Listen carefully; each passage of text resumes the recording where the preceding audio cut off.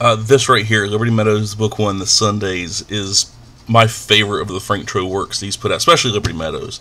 This right here just shows the attention to detail and the just beautiful, beautiful illustrations that he does. I mean, these are just they're straightforward comic strips, but they're funny, they're interesting. It, it, they're not always like laugh out loud, gut busting funny, but they stick with you and dear god the beautiful artwork. I mean like dear god why? Why not? Why not more frank cho stuff?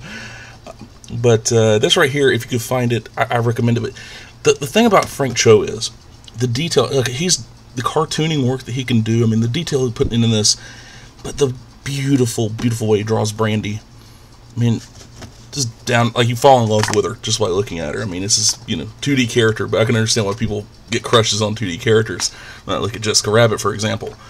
But uh, yeah, uh, this I, I don't know if this would be the best place to start. I recommend it because it's full color and also it's straightforward. You, know, you got strip zero one, strip zero two, and all everything like that. But yeah, Liberty Meadows is one of those books. I mean, you just ah love it.